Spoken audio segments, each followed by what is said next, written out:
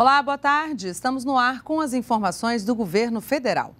E o governo está mobilizado no combate ao mosquito Aedes aegypti, transmissor da dengue, chikungunya e zika vírus. Membros do Conselho de Desenvolvimento Econômico e Social, Conselhão, também vão fazer parte da mobilização para combater os focos e destruir os criadouros do mosquito o ministro-chefe da Casa Civil da Presidência da República, Jacques Wagner, solicitou maior empenho e comprometimento aos 92 conselheiros. Os representantes das empresas estão preparando ações e campanhas de conscientização e mobilização no próximo dia 13, dia da mobilização nacional, organizada pelo governo federal, 220 mil homens e mulheres das Forças Armadas estarão nas ruas para localizar e destruir potenciais criadouros do mosquito.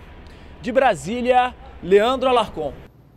E na luta contra o mosquito Aedes aegypti é preciso estar de olho em todos os detalhes. Por isso, o Ministério do Meio Ambiente alerta para a necessidade de se fazer o descarte correto de resíduos, especialmente materiais recicláveis, como pneus e tudo mais que possa armazenar água.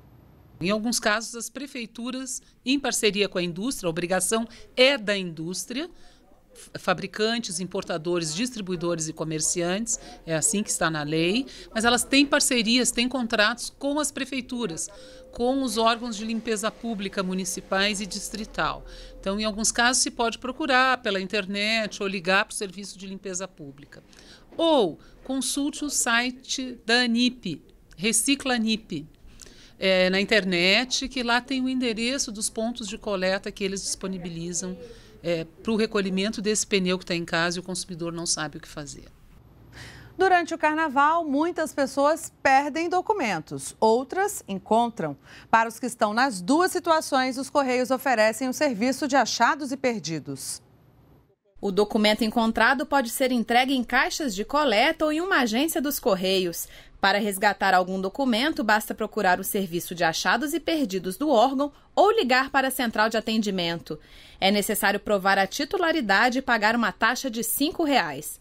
Os documentos ficam disponíveis por até 60 dias. Após esse prazo, são encaminhados ao órgão emissor de origem. As agências dos Correios estão em recesso, mas voltam a funcionar na quarta-feira, dia 10 ao meio-dia. E nós podemos voltar a qualquer momento com outras informações. Continue com a gente, NBR, a TV do Governo Federal.